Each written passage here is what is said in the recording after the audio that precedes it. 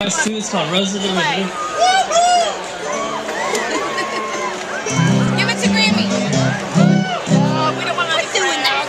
Oh, I was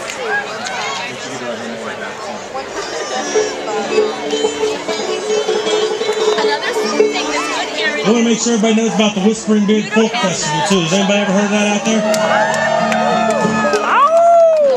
There should be some beardos out there passing flyers out, but I don't know if they brought any with them or not.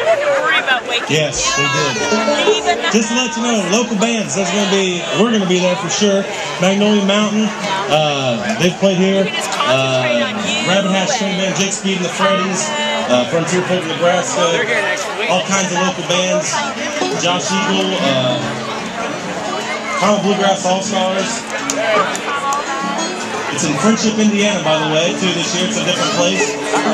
Make sure you find out about it. The Whispering Beard Folk Festival. All kinds of big uh, bands coming from all over the country, too. Todd Snider, Hayes Carll, uh,